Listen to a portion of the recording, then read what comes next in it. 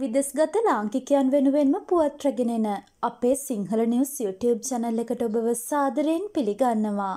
උපුටා ගැනීම ප්‍රසිද්ධ වෙබ් අඩවියකිනි. කොවිඩ් ව්‍යසනය නිසා අසරණව සිටින විදෙස්ගත ලාංකික ශ්‍රමිකයින් මෙරටට ගෙන්වා ගැනීම සඳහා විදේශ සේවා නියුක්ති කාර්යංශය සතු අරුමුදල් භාවිතා කිරීමට ඇති හැකියාව සොයා බලන ලෙස කෝප් කමිටුව විසින් දැනුම් දී තිබෙනවා. විදේශ රැකියා ශේත්‍රයේ වර්තමාන තත්ත්වය අධ්‍යයනය කිරීම සඳහා වූ විශේෂ විගණන වාර්තාව විමර්ශනයට රැස් වූ අවස්ථාවේදී කෝප් කමිටුව විසින් මෙම දැනුම් දීම සිදු කර ඇත්තේ.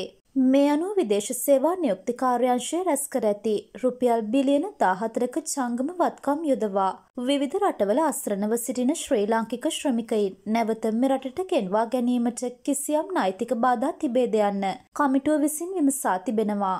කාර්යංශයේ ලියාපදිංචිව සිටින විදෙස්ගත ශ්‍රමිකයන් සිය අරමුදල් භාවිතා කර මෙරටට ගෙන්වා ගැනීමේ කිසිදු බාධාවක් නොමැති බවයි කාර්යංශ සභාපතිවරයා එහිදී අනාවරණය කර ඇත්තේ.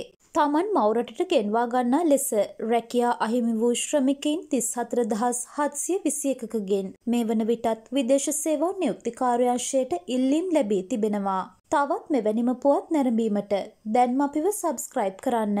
අපි අලුතින්ම අප්ලෝඩ් කරන වීඩියෝස් ගැන කලින්ම දැනගන්න. බෙල් අයිකන් එකත් ක්ලික් කරන්න.